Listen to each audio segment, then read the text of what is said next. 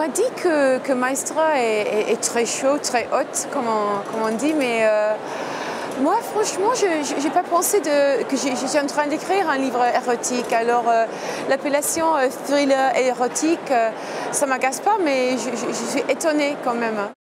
Je n'ai pas vraiment essayé d'écrire ni un polar, ni un thriller traditionnel. J'avais envie plutôt de, jouer un peu avec l'idée du genre, alors jouer un peu avec le, euh, cette, figure de la femme fatale qu'on trouve dans le, noir classique.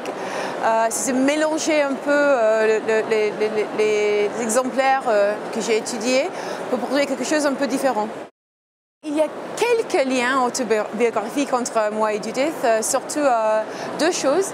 Euh, la passion pour l'histoire d'art. j'ai étudié l'histoire d'art et j'ai travaillé brèvement et pas, avec grand succès comme stagiaire dans une maison de vente aux enchères. Alors je partage ça avec Judith. Mais je pense que notre vrai point en commun, c'est les vêtements et les chaussures. On partage une vraie passion pour ça. Euh, Judith, c'est une criminelle. Euh, moi, je dirais euh, qu'elle est, elle est sociopathe. elle est absolument lucide. Elle sait ce qu'elle fait. Alors, elle n'est pas psychopathique. c'est vrai que c'est une criminelle, mais elle, elle a les, mérites quand même. Hein. Pour les femmes, culturellement, on, se méfie beaucoup de, des appétits des femmes, des désirs des femmes, pas seulement euh, dans la sexualité, mais dans tout l'ambition, euh, la nourriture. J'ai l'impression que les, que les, femmes euh, ont toujours cette, police culturelle au-dessus d'elles. Alors ce qui m'intéressait en, en, créant Judith, c'est de, créer une femme qui, est très transgressive, euh, qui ne suit pas les règles, qui, n'a pas euh, peur ni honte de ses, propres désirs. Et c'est vrai que quelques lecteurs ont trouvé ça euh, choquant ou, dégoûtant, mais moi je le trouve intéressant. Alors Maestre sera adapté pour l'écran. J'espère que le film va sortir l'année prochaine. C'était vraiment étonnant comment c'est passé parce que le, manuscrit était acheté en, en 7 jours à Hollywood.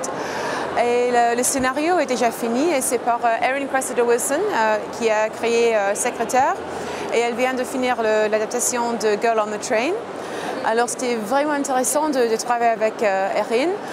Par contre, selon moi, il, faut les, les, garder séparés, le livre et le film, c'est absolument autre chose, c'est des disciplines très diverses et moi je ne connais pas du tout comment faire un, scénario. Alors c'est vraiment, c'est pour Erin, c'est son projet, projet à elle. Mais on a eu pas mal de conversations à Londres, à New York, euh, sur Judith, sur le personnage. Et elle m'a posé euh, quelques questions assez pointues sur le, personnage. Euh, je me souviens, on était dans une soirée à, New York que la a fait pour le livre. Erin est arrivée à côté de moi et m'a demandé, mais elles, sont comment les, cheveux pubiques de, de Judith? Et je devais répondre comme ça. Alors elle est, assez, euh, assez pointue sur les, choses qu'elle veut savoir. Mais à part de ça, euh, c'est vraiment son projet euh, à. Je ne sais pas encore, mais moi j'espère que ça sera une actrice complètement inconnue. Je pense que c'est plus intéressant. Par contre, ces, victimes, les, hommes dans le livre, moi je voudrais bien voir les, grands stars de, Hollywood. Je voudrais bien voir euh, Brad Pitt ou, George Clooney en train de, mourir de la main d'une petite actrice inconnue.